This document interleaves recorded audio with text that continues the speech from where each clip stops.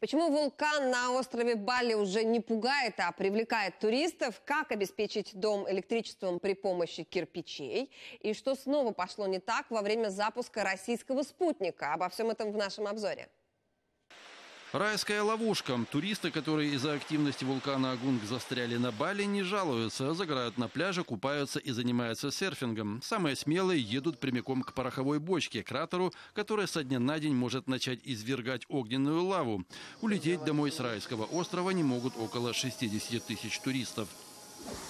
В Британии изобрели энергоэффективные кирпичи. Детище ученых из Экстерского университета называется Solar Squart, что в переводе «солнце в квадрате». Это прозрачные квадраты с оптическими элементами, которые ловят солнечный свет и преобразуют его в электроэнергию. Облицованная такими стеклоблоками стена способна обеспечить электроэнергией все здание. Российская ракета «Союз-2-1Б» упала в Атлантический океан. Космический аппарат стартовал с космодрома «Восточный» и должен был вывести на орбиту 19 спутников.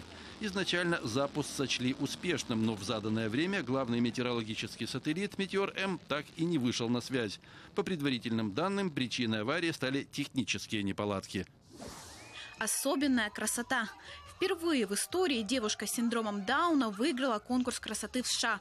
22-летняя Микайла Холмгрен завоевала титул «Мисс Миннесота». Микайла ранее одержала победу в конкурсе красоты для девушек с особыми потребностями. По словам организаторов, Холмгрен, безусловно, достойна короны. Она обладает приятными внешними данными и, что самое главное, полностью уверена в своей красоте.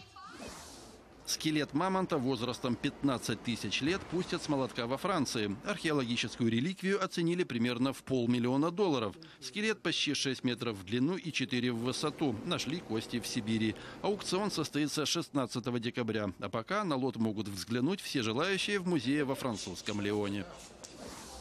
Белый дом к Рождеству готов. Мелания Трамп украсила президентскую резиденцию. Идею первой леди США воплощала команда дизайнеров, декораторов и кондитеров.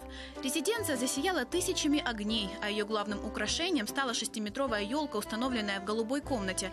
Оценить рождественское убранство Белого дома первыми смогли дети, получившие приглашение от госпожи Трамп.